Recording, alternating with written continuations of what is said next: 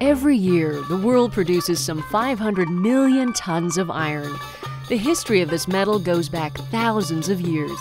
Several ancient civilizations learned to manufacture iron, including the Hittites, whose empire thrived in what is now Turkey in around 1600 to 1200 BC. Later, the Assyrians used iron weapons during their invasion of Egypt in the 7th century BC. In the 4th century BC, the manufacture and trade of iron led to the rise of another empire, Kush, which became a powerful trading center located near the modern day border of Egypt and Sudan in northeast Africa.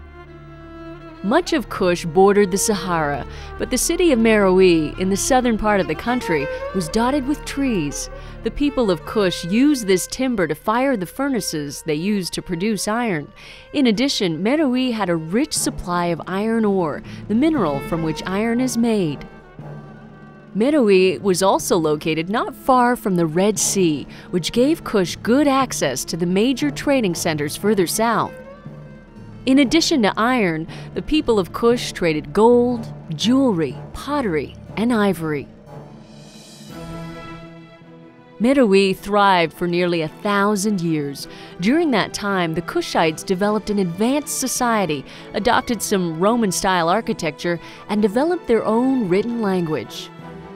The Kush Empire also gave women more political power than did most other ancient empires.